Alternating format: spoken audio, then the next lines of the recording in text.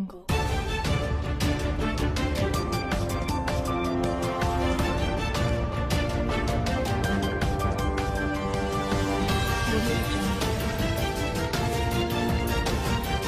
नमस्कार, मैं आकांक्षा Tiwari UP 24 news में आपका स्वागत है। जिला पंचायत अध्यक्ष के विरुद्ध आज बीजेपी के 24 सदस्य अविश्वास प्रस्ताव करने पहुँचे, जहाँ पूर्व मंत्री जयवीर सिंह, उनके पुत्र और बीजेपी के कई नेता मौजूद रहे।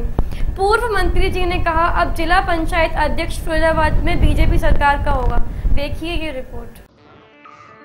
फिरोजाबाद जिला पंचायत अध्यक्ष के खिलाफ बीजेपी के 24 सदस्य एक साथ इकट्ठे होकर जिला पंचायत अधिकारी कार्यालय पहुँचे, जहाँ पर सभी ने बीजेपी समर्थन किया। वहीं पूर्व मंत्री जयवीर सिंह और उनके पुत्र अतुल प्रताप के साथ साथ बीजेपी के कई नेता और विधायक भी मौजूद रहे।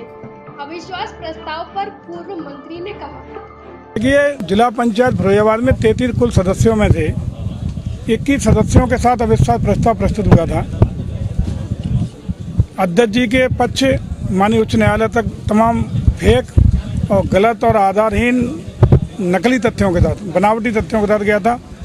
वहाँ भी इनको कोई रिलीफ नहीं मिला और आज मतदान हो रहा है। जिला पंचायत अध्यक्ष के खिलाफ अविश्वास प्रस्ताव पर हम समझते हैं कि आपने देखा होगा, आप लोग थे भी, कि 24 जिला पंचायत सदस्य एक मुश्त इकट्ठे होके गए और तैतीस में से चौबीस गए तो परिणाम आपके सामने है।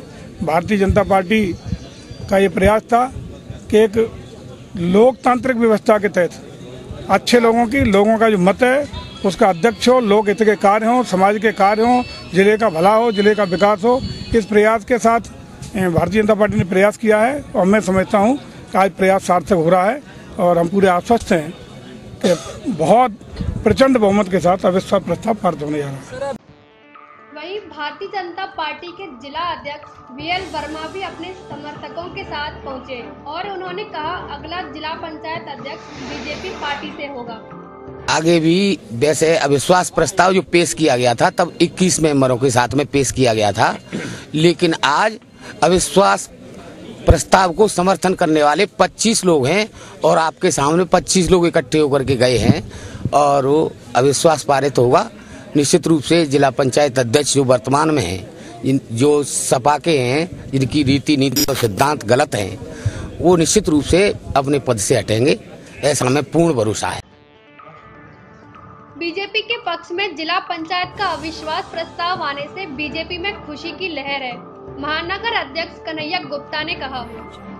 कहाँ तक पहुँच रही है? बीजेपी ने भी कुछ दिन पूर्व जिला पंचायत अध्यक्ष के विरुद्ध अविश्वास प्रस्ताव दिया था। आज अविश्वास प्रस्ताव के समर्थन में भारतीय जनता पार्टी की ओर से 25 सदस्यों के द्वारा आज एंट्री की गई है और पूर्ण विश्वास और आशा के साथ मैं आसान्वित हूँ कि आज जिला पंचायत अध्यक्ष के विरुद्ध अविश्वास प्रस्ताव पूरी तरीके से पारित हो जाएगा और भाजपा इसमें सफल रही है और जिन लोगों ने इसमें सहयोग किया, आदरणीय रामवीर सिंह यादव जी, पूर्व विधायक जसराना जसराना के विधायक जी और विशेष रूप से जयवीर सिंह भदौरिया जी, अशोक चौहान जी, मैनपुरी विधायक, सब लोगों ने बहुत अथा मेहनत की है। पूरी संगठन ने इसमें मेहनत करके इस कार्य को करने का कार्य किया है।